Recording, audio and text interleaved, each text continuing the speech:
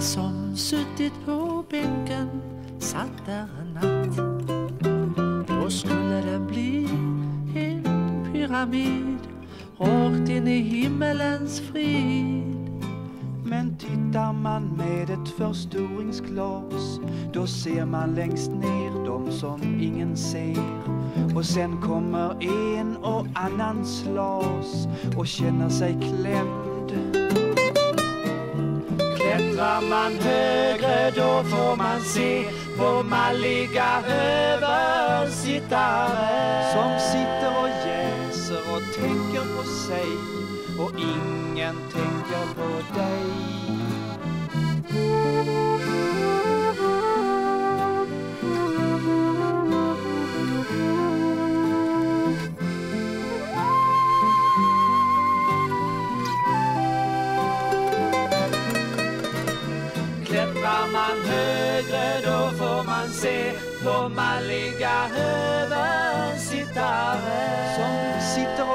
Och och tänker på sig och ingen tänker på dig.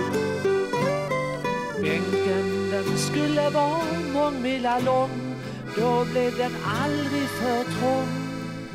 Ja, bänken den ska vara mångmila lång. Då blir den aldrig för trång.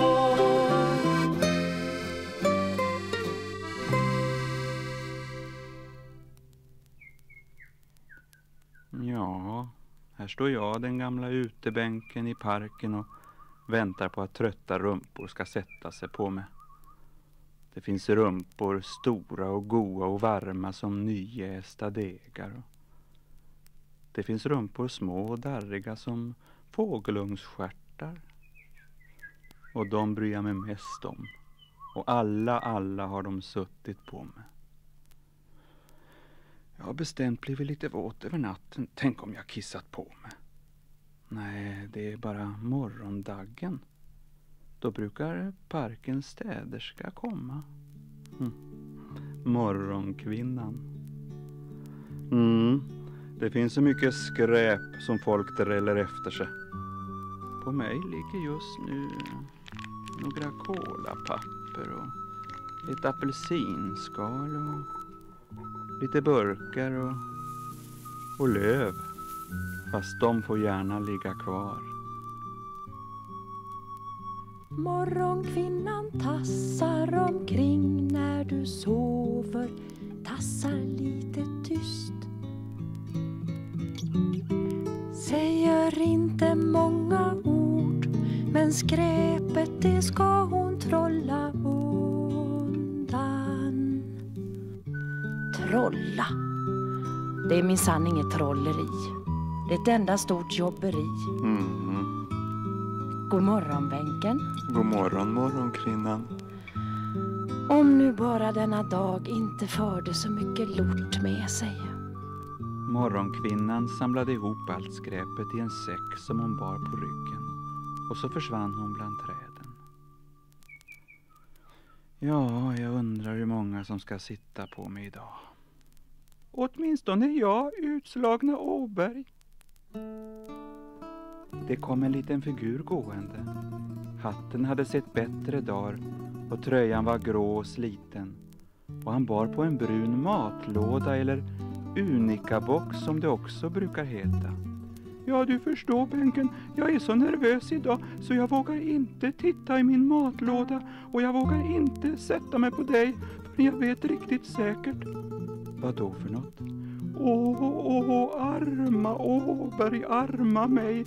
Måste jag nu dra hela historien? Du vet väl att jag har mamma i matlådan? Ja visst ja, utslagna Åberg. Nu kommer jag ihåg. Du har ju inte mat utan mamma i lådan.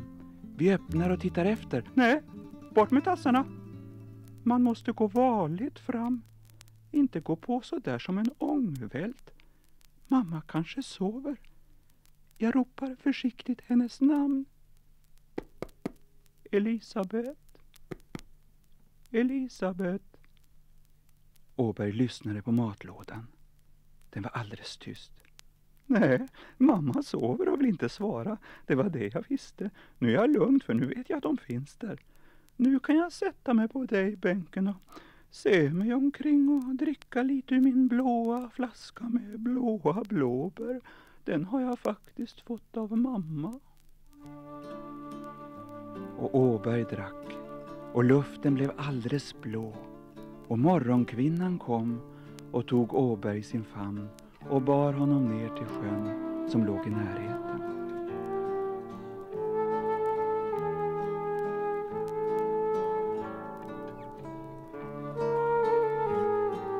Sjön var blank som en spegel.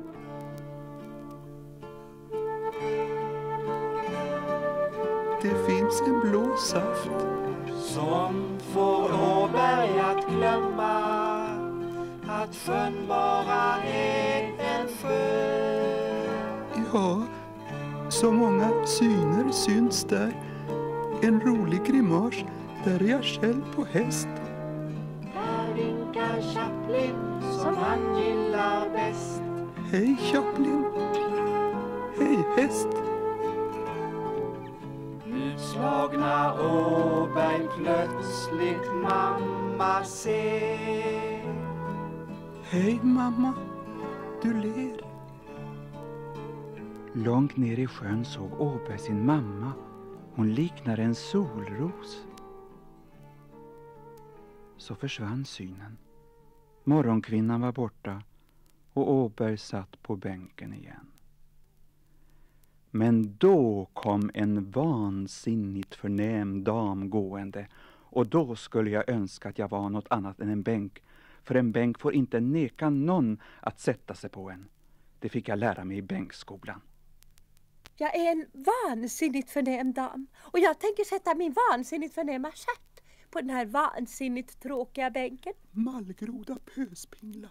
Förlåt, var det någon som sa något? Ja, Jaså, Åberg är ute och dräller igen? Flytta på sig Åberg. nej det tänker jag inte alls göra. Och på sin matlåda, den luktar så illa när jag läser min vansinnigt förnäma bok. Nej men det är min mamma, säg inte så om henne. Åberg kan väl inte ha mamma i lådan? Nu har Åberg druckit för mycket av den blå saften. Öppna lådan Åberg. Nej, det tänker jag inte göra. Åberg vet mycket väl att han är så gammal att han inte har någon mamma kvar. Nu öppnar jag lådan. Ja, se själv. En vanlig äcklig korvmacka. Ska det vara mamma det? Hur kunde du göra så? Nej, nu struntar jag i alla de där reglerna som jag lärde mig i bänkskolan. Nu uppför jag mig illa helt enkelt. Snälla, rara, söta måsen som flyger där uppe i skyn. Släpp dig, men släpp dig på rätt person. Hjälp! Min hatt, mitt liv, mitt rykte.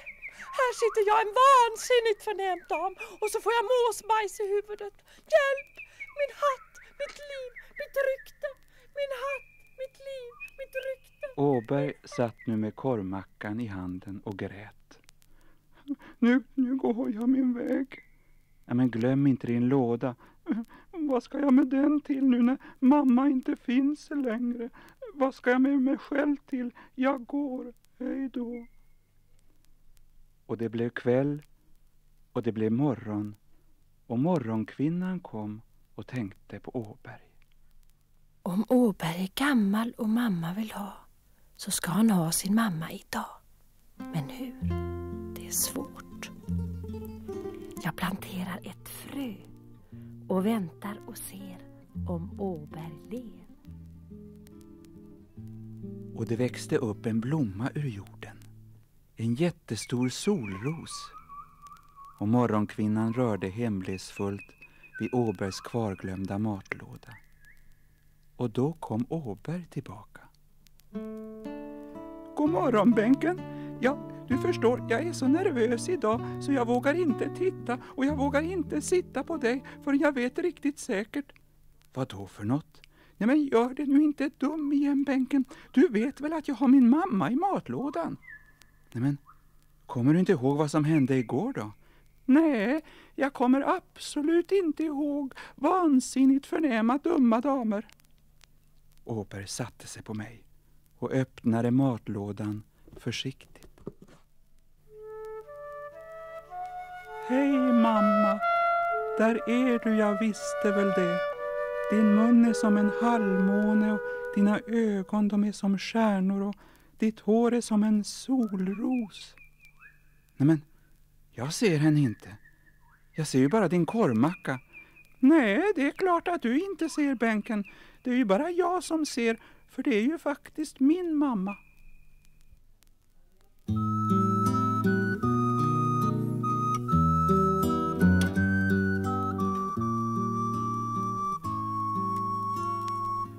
Otroligt men sant. En blåklocka böjer sig över bänken. Åberg fick sin mamma, damen fick en lort. Den största en mås någonsin gjort. Jag ber dig en sak, låt blåklockan stå och tänk på Åberg då och då. Mm.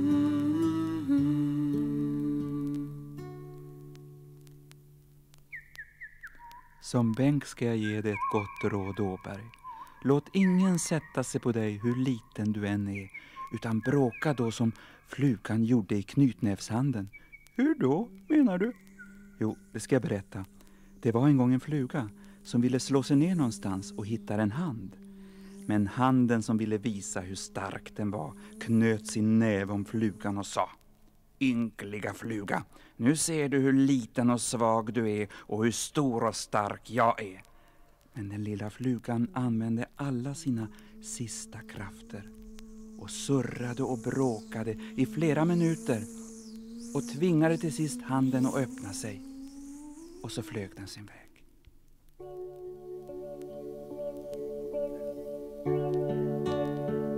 Hur muskulös den lilla flugan känns i knutna handen hur den bråkar och stångas som en motorgräsklippare.